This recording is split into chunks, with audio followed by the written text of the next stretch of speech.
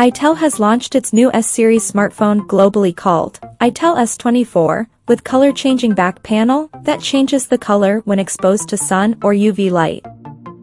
Now let's have a look at the specifications of this smartphone. The ITEL S24 features a 6.6-inch HD Plus display, with up to 90Hz refresh rate support, and it has a hole punch cutout at the top center that carries an 8-megapixel selfie shooter.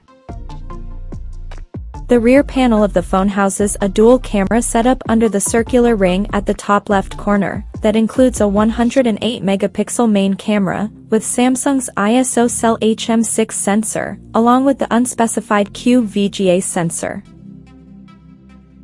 Under the hood, the ITEL S24 comes powered by MediaTek Helio G91 chipset, paired with Mali G52 MC2 GPU.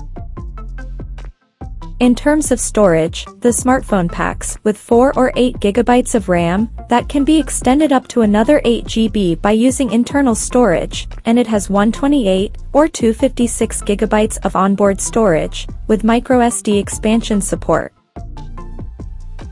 The device comes equipped by a massive 5000 mAh battery with 18 watts fast charging support, and it runs on Android 13 out of the box, with ITEL OS 13 skin on top. Additionally, the smartphone also features an side-mounted fingerprint sensor for biometric authentication. The connectivity option on the phone includes dual SIM 4G, Wi-Fi, Bluetooth 5.0, GPS, 3.5mm headphone jack, and a Type-C charging port. The physical dimensions of this smartphone measures at 160 by 77.25 by 8.3 millimeters, and it weighs around 192 grams. So now let's take a look at the pricing details of this smartphone. Unfortunately, the company is yet to reveal the pricing details of this smartphone, and we expect the phone to be priced around $95.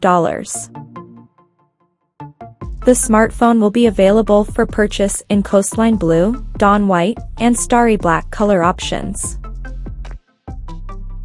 So, what do you guys think of this ITEL S24 smartphone? Do let us know in the comment section below, and stay tuned to TechSole blog YouTube channel for more tech updates. Thanks for watching, we'll see you guys in our next video.